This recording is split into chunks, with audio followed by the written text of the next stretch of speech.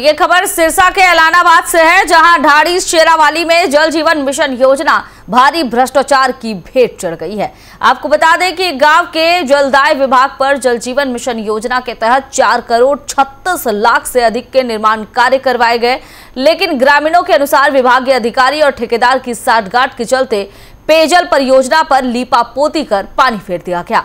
Water works में डिग्गियों और filter plant का निर्माण तो ठेकेदार ने करवा दिया लेकिन डेढ़ साल से भी अधिक का समय बीत जाने के बाद भी वो सही ढंग से काम नहीं कर रहा है। ग्रामीणों का कहना है कि गाँव में करोड़ों रुपए खर्च हो जाने के बाद भी दूषित पानी पीना पड़ रहा है।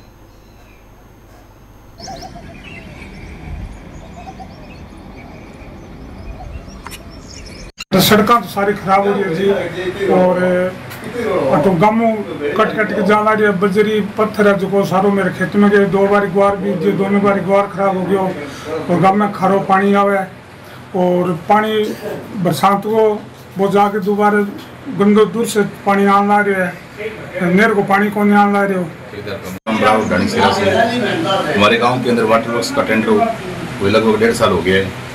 ठेकेदार ने पूरे गाँव की गलियाँ खराब कर दी है बार बार कहने पर भी कोई सूद नहीं ले रहा है। प्रशासन को बहुत बार अवगत करा दिया गया है, परंतु कोई भी सूद नहीं ले रहा है। हमने इस बाबत एस टी महोदय डी साहब एस साहब जो टेंडर होके ये पाइपलाइन डालने का जो काम हो, उसके कारण सारी सड़कें हमारी एकदम टूटी फूटी हो गई है और उनको दोबारा तैयार करवाने के लिए बहुत बार तो प्रशासन को अवगत करवा दिया हमने। और सीएम साहब को भी हमने इस बारे में एप्लीकेशन दे दी है। और ये बहुत बार कहने के बावजूद जो पब्लिक हेल्थ के सभी अधिकारी हैं, वो ठेकेदार के साथ मिले जुले हैं, जिसके कारण ये काम नहीं हो रहा। और बहुत बार अवगत करवाने के बाद भी एक बार एक ठेकेदार आया था, वो दोबारा यहाँ पर है। जो बारिश के कारण है, ये गाँव से जो पानी जाता है, उस सड़क तो सारी